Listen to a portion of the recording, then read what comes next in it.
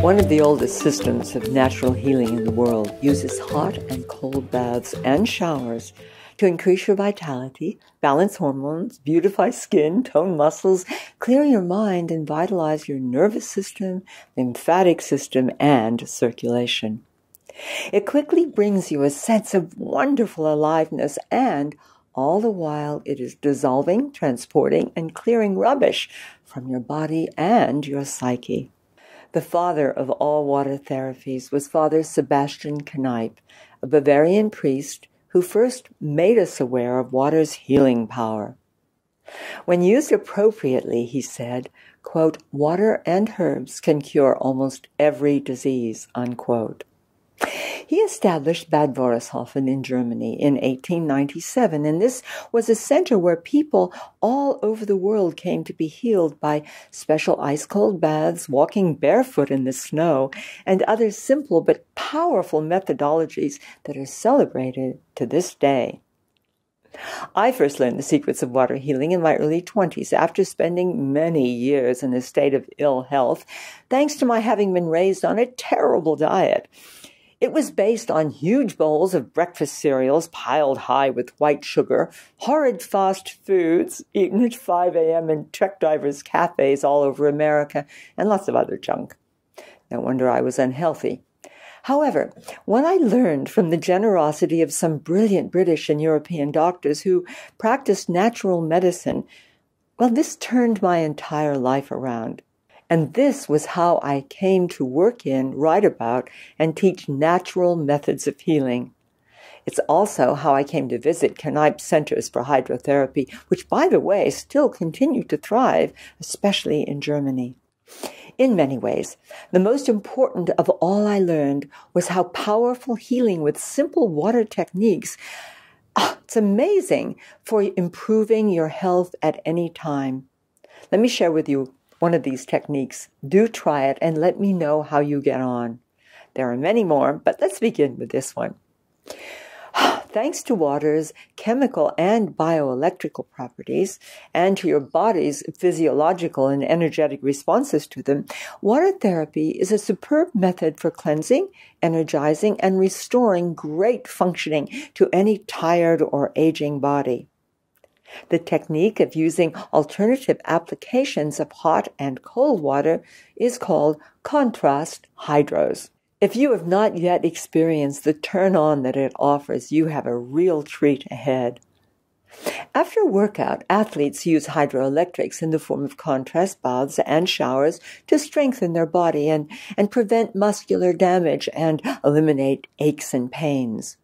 Contrast hydros not only help clear wastes and vitalize, they also bring nutrients and oxygen to areas of your body that need them, and they balance your energies and, and help protect you from stress induced damage. Okay, here's how. Apply hot water to your whole body for three or four minutes in the form of a hot bath or a shower. Follow with 30 to 60 seconds of cold water and repeat the procedure three times. You see, the application of cold water needs to be just long enough to make blood vessels constrict, and this can take place in, as little as, as 20 seconds. Cold water triggers your sympathetic nervous system to energize, while hot water intensifies your parasympathetic activity for real relaxation. But the combination of the two makes you feel great. It's very important, however, that you start slowly, increasing the length of your exposure to hot and cold water very gradually. If you happen to have a separate bath and shower, you can use the bath for one temperature application, the shower for the other, moving back and forth.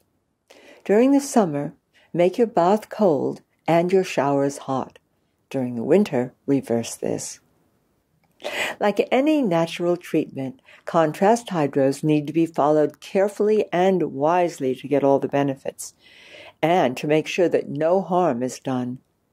You'll probably find at first that a plunge into cold water or a cold shower is a shock to your body.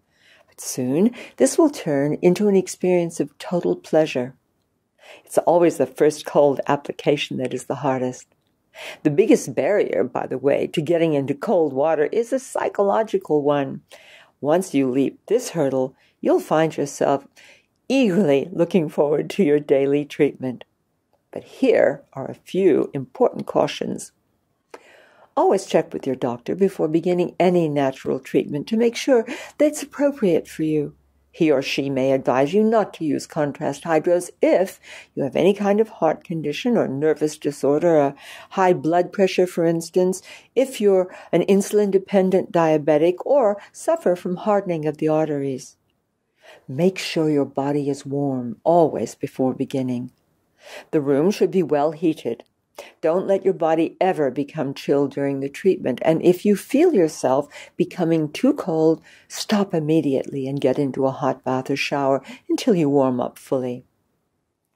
Always begin with a hot application and end with a cold. Start slowly with two or three minutes of hot application, followed by, say, 20 seconds of cold. Then as your body gets used to contrast hydros, increase the time of the cold applications up to one minute, or even two or three minutes if you're extremely fit or an athlete. When you finish, dry your body well and dress warmly.